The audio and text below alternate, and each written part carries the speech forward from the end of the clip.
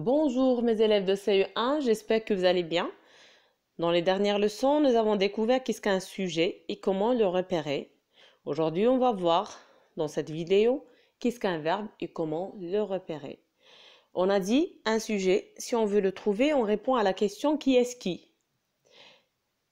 Et maintenant, on va voir comment trouver le verbe. D'abord, qu'est-ce qu'un verbe? Le verbe est un mot qui indique une action ce que font les personnes, les animaux ou les choses. Prenons quelques phrases pour vous aider à mieux comprendre. Tauki vole. Que fait Tauki? Il vole. Donc le verbe, c'est le verbe vole. C'est le verbe voler. Lily va à l'école. Que fait Lily? Elle va. Va.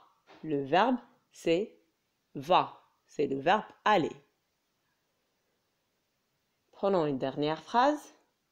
Tauki mime la momie. Que fait Tauki Il mime. Le verbe, c'est mime. C'est le verbe mimer. Travaillons ensemble un exercice.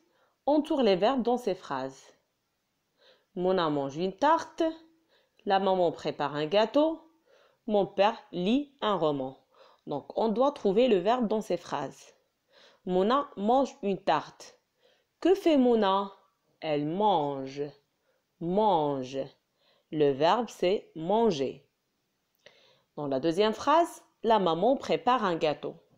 Que fait la maman? Elle prépare. Prépare. Le verbe, c'est préparer. La troisième phrase, mon père lit un roman. Que fait mon père? Il lit. Lit. Le verbe, c'est lit. C'est le verbe lire. J'espère que vous avez bien compris ma leçon, mes élèves. Merci et à la prochaine leçon.